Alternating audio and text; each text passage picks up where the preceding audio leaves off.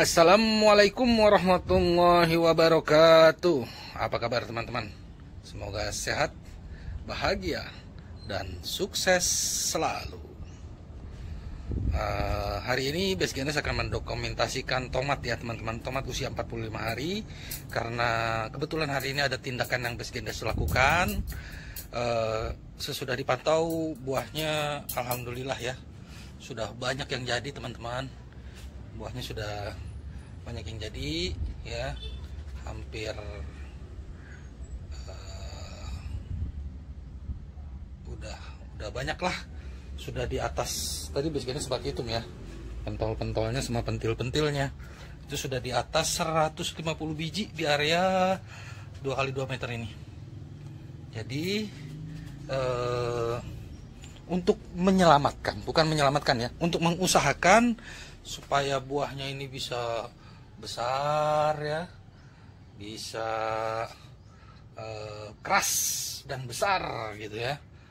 Eh, dan bunga berikutnya ini bisa jadi Besgendes hari ini di usia 45 hari tomatnya uh, Besgendes melakukan perempelan daun bawah teman-teman. Kalau kemarin daun bawahnya Besgendes jaga ya supaya dia bisa ngeluarin bunga banyak terus. Nah di usia 45 ini sesudah buahnya pada jadi ya uh, daun bawahnya Besgendes rempel.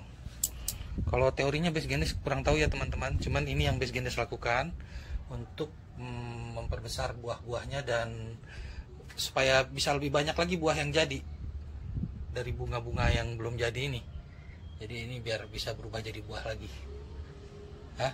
nah itu karena udah mayoritas sudah udah pada jadi buahnya banyak kayak yang dirempel nah ini ya kita lihat Nah ini sudah beskinis rempel.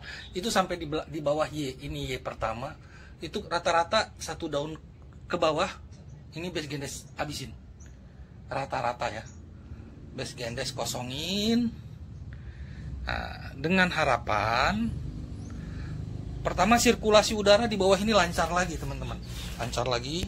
Jadi perputaran angin dari bawah itu jalan lagi ya uh, sehingga tingkat kelembapannya juga berkurang ini kebetulan udah dua malam hujan terus teman-teman tingkat kelembapannya berkurang jadi jamur cendawan insya Allah jangan berkembang dulu ya itu yang pertama yang kedua karena sirkulasi udaranya lancar bunga ini untuk perkawinannya antara putik dan serbuk salinya bisa berjalan uh, normal ya bisa berjalan normal sehingga buahnya bisa jadi.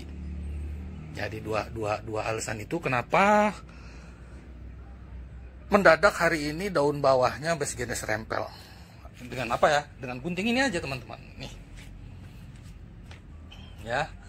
Masih sehat-sehat kalau dilihat ya mayoritas daun bawah yang jenis buang masih sehat tapi ada beberapa yang udah terserang cendawan begini ya supaya tidak menyebar lebih banyak jadi ya jenis buka salurannya. Karena begini ya, sampai usia 45 hari ini teman-teman, tomat ini baru dua kali. Sesudah pindah tanam itu ya baru dua kali kena diobat. Fungisida baru satu kali, insektisida dua kali ya, total dua kali ya. Yang kedua itu insek plus fungi, yang pertama insek aja. Jadi ini minimal pemakaian pengobatan ya tomat ini ya sesudah pindah tanam. Karena ini buat kita buat maksudnya buat base gendes makan sendiri buat jus tiap hari. Jadi base gendes hindari pemakaian fungisida yang terlalu banyak. Fungisida waktu itu pun base gendes tidak kenain di atas ya yang sekali kena base gendes kenainnya di bawah. Nah sekarang base gendes buka uh, jalur udaranya di bawah. Mudah-mudahan jamur cendawannya nggak berkembang ya teman-teman ya. Nah, di situ sudah gitu ini buahnya mudah-mudahan kuat bunganya bisa jadi dan yang udah jadi ini bisa membesar ukuran servo.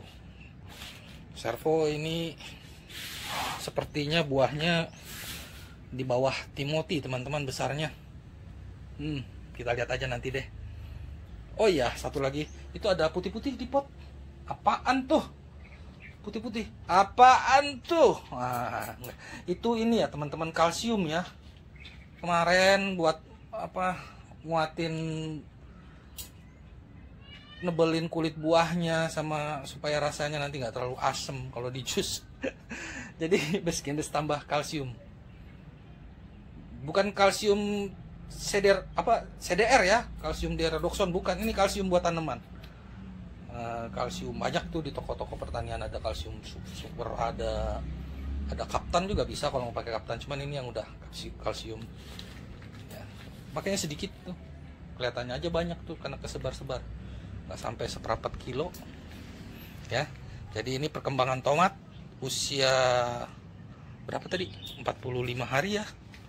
Eh, Alhamdulillah buahnya sudah pada nongol banyak. Mudah-mudahan rasanya enak. Dan bunga-bunga berikutnya pun ini Bismillahirrohmanirrohim kamu jadi buah ya. Mudah-mudahan bisa jadi lagi ya. Uh, terus jamur cendawanya jangan menyerang dulu ya karena ini masih dalam tahap uji coba. Gitu ya. Jadi usia 45 hari biasanya serempel daun bawahnya. Uh, kemudian tambah kalsium.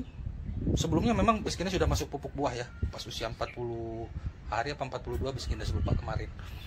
Nah, sudah dibuang dia begini sekarang lihat tuh ya lancar di bawahnya. Sirkulasinya udah plong tingkat kelembapannya otomatis berkurang. Jadi jamur cendawan insya Allah jangan berkembang dulu ya. Dan buah-buahnya Bismillahirrahmanirrahim mudah-mudahan. Jadi ya ini sebetulnya dua mingguan lagi nih harusnya Beskine sudah bisa minum jus jeruk. Beskine sudah lama nih libur minum eh jus jeruk lagi jus tomat. Jus tomat ya teman-teman ya Oke teman-teman ini perkembangan tomat usia 45 hari. Dilakukan perempelan untuk menghindari serangan jamur dan cendawan. Oke Assalamualaikum warahmatullahi wabarakatuh